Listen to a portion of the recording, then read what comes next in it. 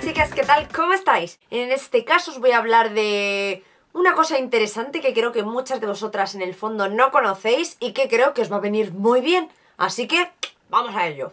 Bueno, en este caso eh, de lo que voy a hablar es un poco de eh, cómo saber cuándo fueron fabricados los productos de Mac, ¿vale? Imagino que distintas empresas también habrá alguna manera de saberlo, pero bueno, en este caso me voy a centrar en los de Mac porque bueno, pues ya sabéis que es la empresa en la que actualmente estoy trabajando y bueno, pues eh, sé cómo averiguarlo, ¿vale? Realmente no es muy difícil y seguro que en cuanto os lo diga muchas vais a sacar y vais a decir ¡Ay, con qué era eso! Pero sí, bueno, centrándome un poco, vosotras sabéis que por lo general eh, nosotros en Mac, pues para referirnos a los tonos solemos tener nombres, quitando lo que es los productos de piel, como ya sean bases de maquillaje y correctores, quitando algunos tipos, por lo general solemos tener una nomenclatura a base de NC, NW, NC, etcétera, y un numerito, pero para el resto de colorido, ya sean sombras de ojos, lápices de labios, de ojos, barras, glosses, suma y sigue, suma y sigue, suelen eh, tener eh, los tonos nombres de...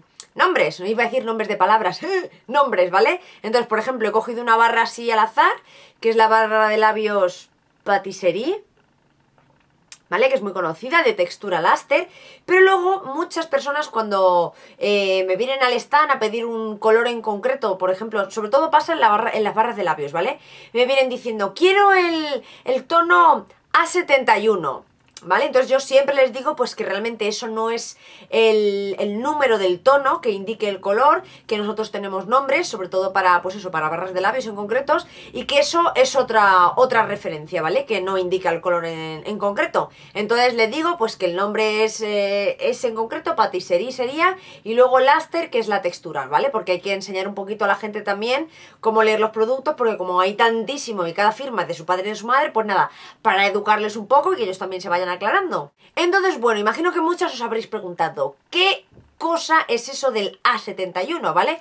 Yo normalmente, pues por resumir, por lo que le digo a la gente que es un código de lote de fabricación, ¿vale? Realmente no es que sea una información 100% cierta, es, sí que tiene que ver con el lote de fabricación, pero realmente eh, dice mucho más que solo un código con lote, ¿vale? Realmente esta nomenclatura que podemos encontrar no solo en barras, sino creo que en general en todos los productos de Mac, ¿vale? Lo tenéis, que normalmente es una letra y luego unos números o dos letras y un número, ¿vale? Eso eh, lo que significa, ¿vale? Es cuando fue fabricado ese producto en concreto. Entonces, más que el lote, es en general la fecha, digamos, de eh, fabricación de ese producto. Entonces, os voy a explicar un poquito cómo se lee para que lo tengáis en cuenta y que, pues más que nada, sepáis leerlo a partir de ahora, ¿vale? Entonces, por ejemplo, yo tengo aquí la barra, la misma, la patisserie que he cogido completamente al azar. Y como veis, aparte del nombre, de la textura, aparece luego el código A71, ¿vale? Os explico. Por lo general, la primera letra, que siempre en este código suele ser una letra, por lo general, nunca he visto un número, pero bueno, hasta que se demuestre lo contrario, suele ser una letra.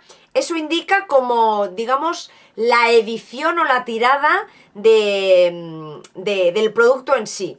A ver que me explique, digamos que las letra, la letra que tenga A delante fue como de la primera tirada de producto, normalmente las que son ediciones limitadas Normalmente siempre tienen una letra A porque solo se hace X número de unidades y no se fabrican más, pero a lo mejor los productos de, de, colección permanente, ¡ay, que no me salía!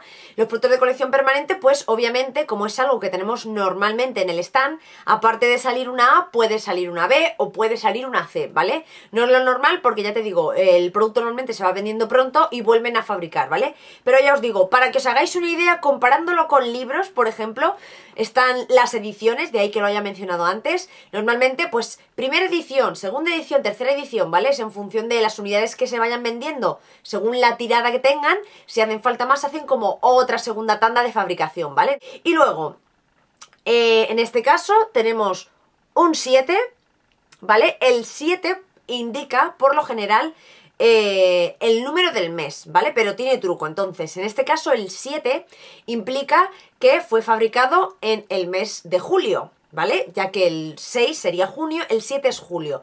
Pero ¿qué pasa? Eh, puede aparecer hasta el número 9 como límite, que indicaría septiembre, pero luego como no cabe el 10, o normalmente ellos no... no mm, no reflejan el número 10, ¿vale? Pues lo que hacen es cuando llegan al 9, que sería septiembre, para hacer octubre, noviembre y diciembre, que son los tres meses que nos quedan para terminar el año, lo que hacen es poner letras. Octubre sería A, eh, noviembre sería B y diciembre sería C. Y ya por último, el último numerito que aparece, ¿vale? Que en este caso es un 1, significa que fue fabricado en el 2011, ¿vale? Entonces, pues según esto, sabemos, resumiendo, que esta barra fue fabricada a la primera tanda de fabricación, ¿vale? De, de sí, cuando lo fabricaron, el 7 que lo fabricaron en julio y el 1 que lo fabricaron en el 2011, ¿de acuerdo? Voy a coger otro producto para que os vayáis aclarando porque puede ser un poco confuso al principio. Bueno, tengo aquí las barras, pues las tengo más a mano. Por ejemplo, esta, otra barra, A, A, 1, ¿vale? Es fácil, como os he comentado, la A implica que fue la primera tanda de fabricación, la segunda A, como os he comentado, significa que ya no es septiembre, entonces sería octubre, porque como no hay 10, luego empiezan con letras, la A sería octubre y el 1 del 2011. Entonces esto fue fabricado en la primera tanda en octubre del 2011. De esta manera, pues podemos saber cuánto tiempo lleva fabricado ese producto en concreto, ¿vale? Que de hecho, si tenemos em, en general, no es la caducidad, ¿vale? Es cuándo fue fabricado el producto, ¿vale?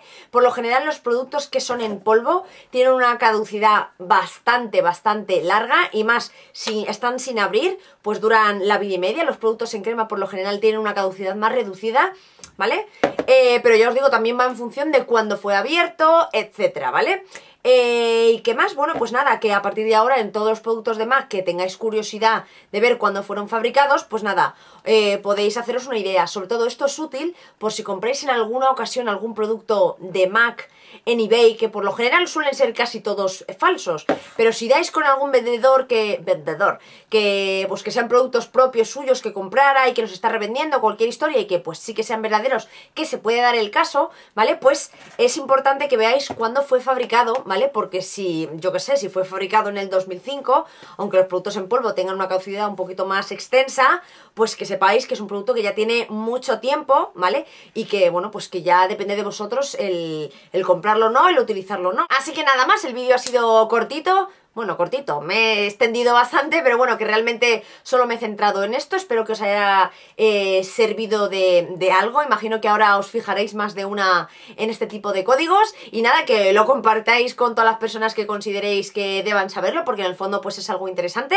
y que nada más, que no me enrollo, que bueno, que recordaos que me podéis seguir por Facebook, que me podéis seguir por, eh, por Twitter también, que me visitéis en el canal de moda y en el blog, ¿vale? Recordad que en el mismo blog tengo el mercadito donde vendo sobre todo cositas de y de Sigma, entre otras muchas firmas, bueno, muchas, entre alguna que otra firma, y que nada, que cualquier cosita que necesitéis, que sabéis que me podéis dejar un mensajito aquí en este mismo vídeo, eh, me podéis escribir por Facebook o me podréis directamente escribir un email, ¿vale? Así que intento estar disponible. Y bueno, que nada, que espero que os haya gustado el vídeo y nos vemos en el próximo.